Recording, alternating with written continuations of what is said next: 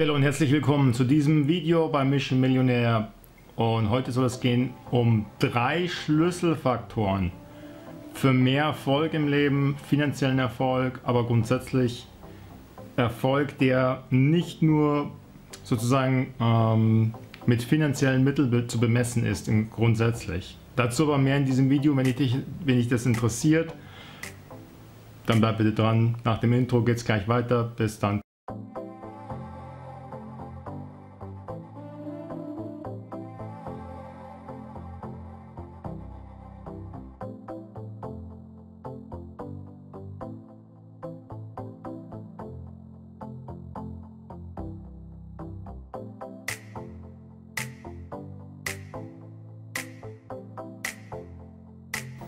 Hallo, ich grüße dich. In diesem Video soll es gehen um drei Schlüsselfaktoren für finanziellen Erfolg und finanzielle Freiheit. Und hierzu ganz kurz eine Geschichte. Ich bin aufgewachsen mit ähm, ja, einem Nachbarn, ähm, der schon äh, seit einiger Zeit verstorben ist. Damals das war noch, äh, mit denen sind wir quasi immer unterschiedlich, also meine Familie damals mit deren Familie und noch eine weitere Familie, noch eine weitere Familie. Wir sind immer so in, in, in, in Familiengruppen sozusagen. Also jedes Jahr haben wir unseren typischen Familienurlaub eben gemacht, so wie es der Deutsche eben äh, großflächig macht oder der jahrzehntelang zumindest gemacht hat.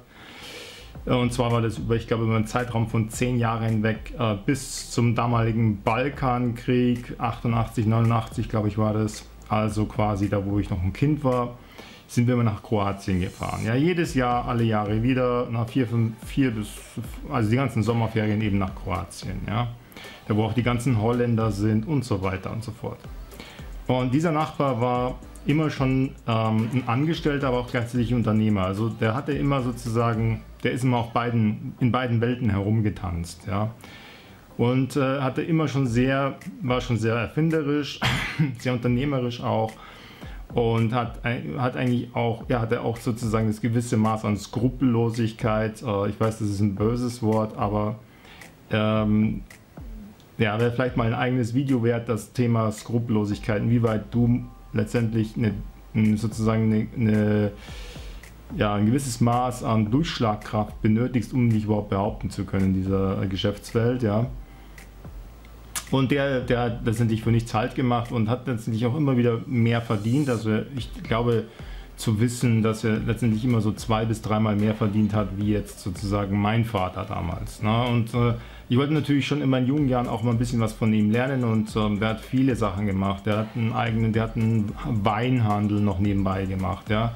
Der hat schon in seinem festen Job immer, der hat damals auch für einen Autolieferer, Autozulieferer, einen französischen gearbeitet hier in Deutschland.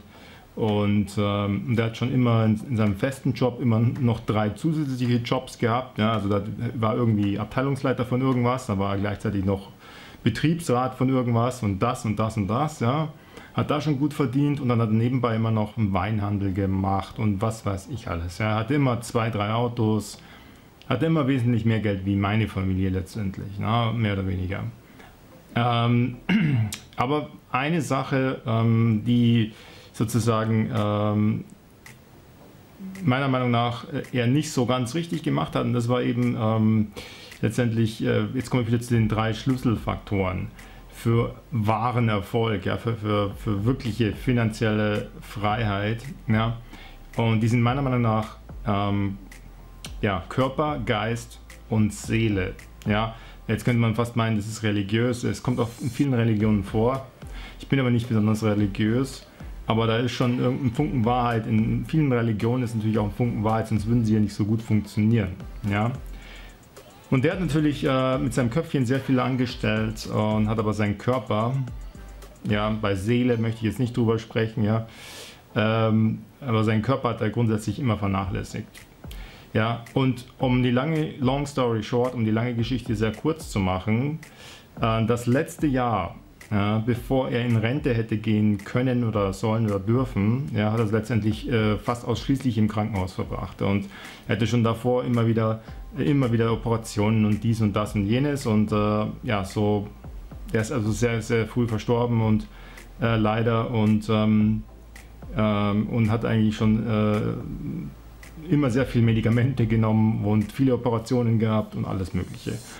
Und ähm, ich kann jetzt auch aus eigener Erfahrung sagen, dass letztendlich es nichts bringt, wenn du in deinem Leben halt einfach unternehmerische Qualitäten hast, ja, und äh, sozusagen äh, dich durchsetzen kannst, ja, ähm, aber letztendlich äh, deinen Körper und Seele, also vom Kopf her alles richtig machst sozusagen, Anführungsstriche, aber deinen Körper und deine Seele letztendlich immer vernachlässigst, ja, dann wirst du unterm Strich, kommst du auch nicht weit. Ne? Bei Körper letztendlich, tja, da entscheidet sich einfach dann Mutter Natur, na, jetzt mache ich nicht mehr mit und dann bist du einfach tot, ja. Und dann nützt dir dein, ganzes, dein ganzer Reichtum auch nichts mehr. Und bei Seele, ähm, tja, also es soll, äh, es gibt Stimmen, die sagen, dass das Ganze miteinander zu tun hat, ja. Also dass auch teilweise Leute schon gestorben sind aus, See aus Gründen von Seelenschmerzen, ja, sozusagen. Aber letztendlich ähm, wirst du nie wirklich ähm, erfolgreich in diesem Sinne und glücklich und zufrieden, weil mein Kanal heißt ja auch Satisfaction, ja, und Freedom. Also wenn du nicht diese drei, also Körper, Geist und Seele, ja, in Einklang bringst, ja. Also es gibt so viele unzählige Beispiele aus meinem persönlichen Bekanntenkreis, ja, aus, ähm, aus, dem, aus dem Internet, ja, Florian Homm und so weiter, das ist, ist ja ganz öffentlich, ja, dass, dass der Milliardär war zum Beispiel, ja, und ähm, letztendlich äh, dann auch nicht so richtig glücklich, obwohl das natürlich schon ein sehr, sehr hohes Level ist. Ja? Aber man, man sieht sich ja dann selber auch nicht. In, ähm, sozusagen, ähm, da spielt wieder der Gewohnheitsfaktor mit rein. Ne? Es, gibt eine, es gibt bestimmt eine oder andere Milliardäre, die, die super unzufrieden oder unglücklich sogar sind, von ihrer Sichtweise her. Tja, und an denen verdienen dann also die diversen Coaches wie Tony Robbins und so weiter, verdienen dann einen Haufen Geld, weil sie natürlich dann entsprechend Vieh verlangen können. Ne?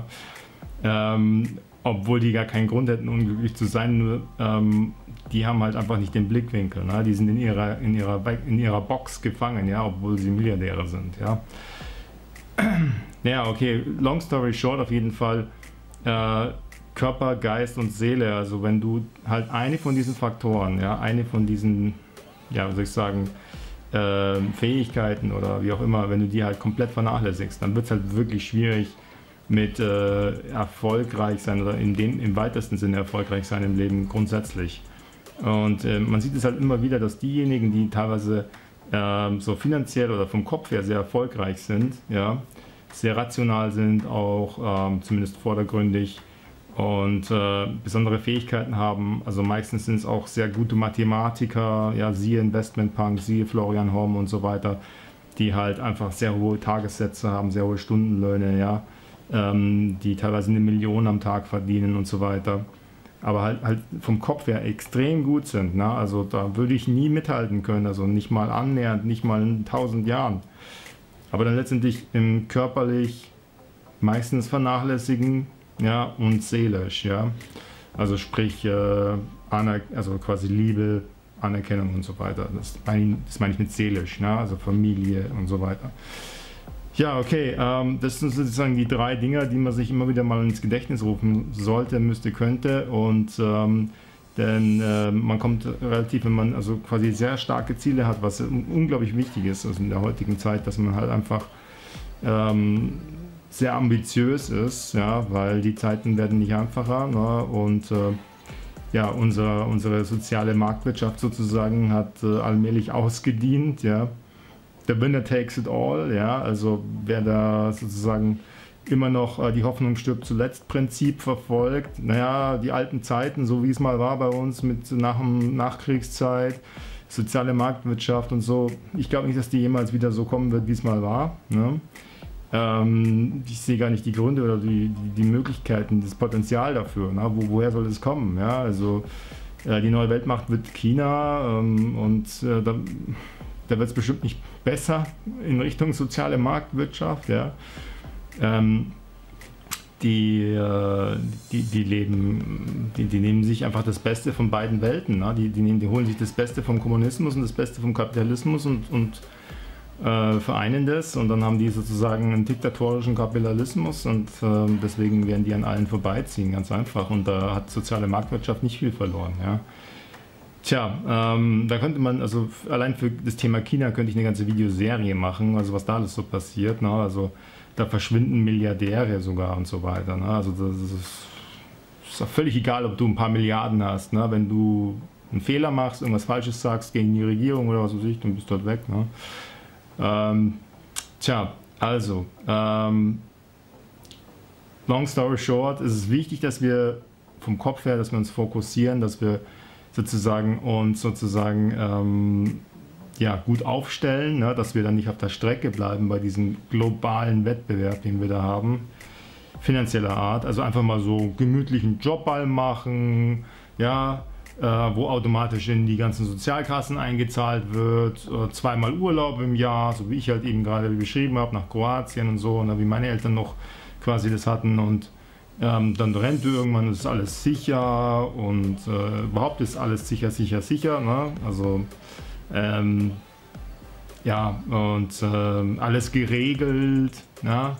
Sich so blind aufs System verlassen, auf den Staat und all, die, all diese Sachen. Also ähm, das, äh, ich glaube, da werden sich so einige Dinge ändern, ja, und in, in Richtung ähm, Winner takes it all, Hardcore-Kapitalismus, ähm, tja, dann wird es wahrscheinlich so was ähnliches wie ein Grundeinkommen geben, aber ähm, tja, wie hoch wird das sein? Ja, wird das, wird das in Deutschland, also in, in der Schweiz haben sie ja mal gesagt, äh, das soll irgendwie so 1200 Franken werden oder 1400 Franken. Also wer, wer, wer, daran glaubt, dass es in Deutschland mal so hoch sein wird, das Grundeinkommen, also wer ans Grundeinkommen glaubt, und ich denke mal, dass es auf jeden Fall eine Option ist, die seriös und ernsthaft äh, in der Schublade liegt, äh, also bereits Ges Gesetzesentwürfe gemacht worden sind, ne, weil die sind ja so doof sind die ja auch nicht in der Politik, ja, dass es eventuell mal kommen könnte, dass man das umsetzen muss, einfach, ob man es will oder nicht, man muss es einfach umsetzen, weil einfach über die Digitalisierung etc. einfach zu viele Arbeitsplätze wegfallen etc. etc. Da habe ich schon viele Videos gemacht drüber. Ähm, ja, dieses Grundeinkommen, was wir dann hier genießen dürfen, das wird also wesentlich tiefer sein wie 1000 Euro. Ähm, ich wüsste gar nicht, wo, woher die das finanzieren wollen. Warum? Weil wir in Deutschland ja schon alles finanzieren. Ja, also würden wir quasi unsere kompletten Geld, äh, also unsere kompletten äh, Subventionen einstellen, die wir in die Welt hinaus äh, exportieren. In äh, UNESCO, in äh, Israel, in was weiß ich, überall hin, ja äh, keine Ahnung, nach, Ost, nach Osteuropa, nach Südeuropa. Ja? Also wenn wir diese ganzen Tra Transferzahlungen mal einstellen würden oder reduzieren würden, dann könnten wir hier Grundeinkommen haben in Deutschland oder in Bayern von 5000 Euro im Monat. Ja? Einfach so. Ne? Aber das wird nicht passieren und von daher äh, wird es ein hartes Rennen werden und äh, man darf aber diese drei Faktoren eben nie vergessen. Ne? Also Kopf, ja, was bringt es, wenn du im Krankenhaus liegst, ja, und hast halt 5 Millionen zusammen und bist halt dann im Krankenhaus, ne? Auch ein bisschen scheiße. Ja, Körper, ne? Also dich gesund fit halten, nicht so diese Konsumfallen hier drauf gehen, ja, Konsumfallen, oh, also fette Werbung halt schauen, ne? so wie ich halt auch. Ähm, und dann so zum halben Preis äh, gleich ein paar Gin-Flaschen einkaufen, aber ich werde es nicht alle auf einmal trinken, ja.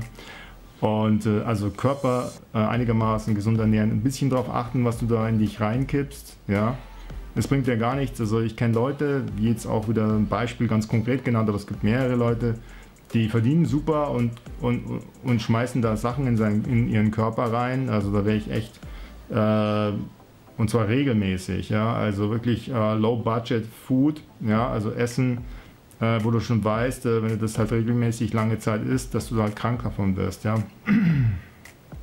ja, okay. Auch mal vielleicht einen Fastentag einlegen in der Woche, ja, auch mal zwei Tage mal keinen Kaffee trinken, ja. Jetzt wieder die ganze Kaffeeindustrie findet es wieder natürlich nicht gut, ja. Aber darum geht es ja jetzt in dem Video auch nicht, ja. Ähm, ich tue mir da auch sehr hart, ja. Ich bin auch so ein kleiner Suchtel. Auf jeden Fall, ja, und Seele natürlich, ne? also nie vergessen, Familie, Liebe, ja, Partnerschaft und so weiter, da muss ich auch fett noch dran arbeiten. Also das habe ich auch völlig unter den Tisch fallen lassen in den letzten Jahren. Aber hey Mann, du kannst nur, ähm, ich habe mein Vermögen quasi irgendwie verzehnfacht, also allein in den letzten zwei Jahren oder so. Aber ähm, ich habe ja, ich es auch nötig gehabt, ja, aber hey, ähm, schwierig, natürlich immer diese drei Dinge, ja.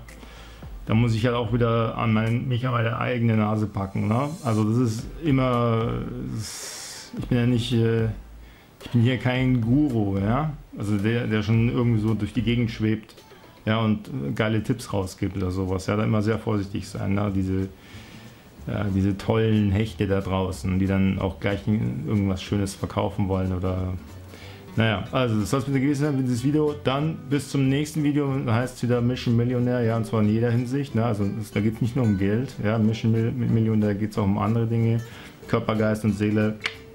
Ja, abonniere meinen Kanal, Daumen hoch. Tschüss, bis zum nächsten Mal. Ciao, ciao.